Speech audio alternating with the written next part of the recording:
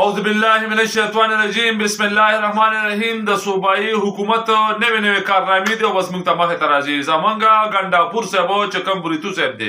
بریتو صاحب داسې کار کړی دی چې وایي د ماشومانو د سکولونو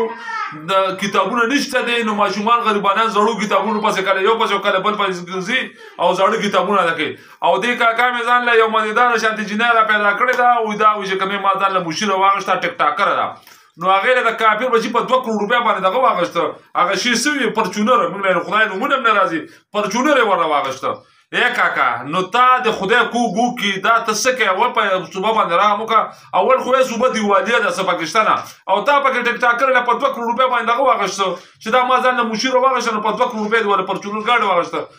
او دا څه کوي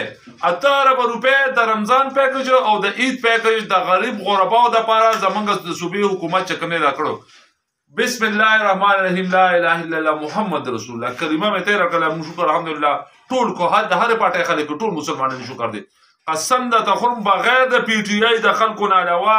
یو غریب دلیل چې کوم نه چا د لس روټ نه دی ورکړي صرف د پی ټی آی خلکو له ورکړي کو چا ثابت کړه زه جرمانه ورکول ته تیار یم صرف د پی ټی آی چې ورکر د پی ټی آی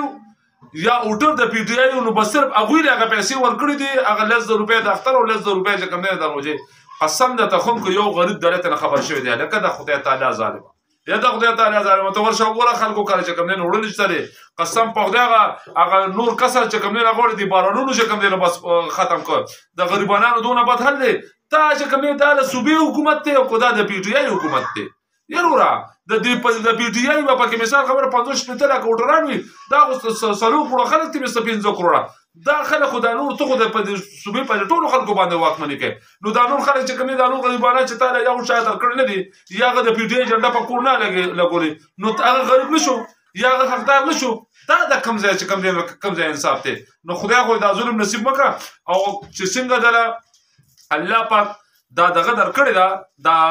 دا تخ دا یا د حکومت یا دا واکمنی الله دې دا نه چې کبه نو واپس واخلي ځکه چې تاسو دا کم ظلم او کم دا چې کم جبر غرشت دي نو تاسو په ایمان دا کړی غریب پکې غرق او تباہ شو او صرف تاسو چې کم نه خپل ځان د پاره چې کم نه لوبه برابر کړی دا نو د خدای ظالمانو د صوبې په دې غریب خلکو باندې چې کم نه لوګرامو کې او د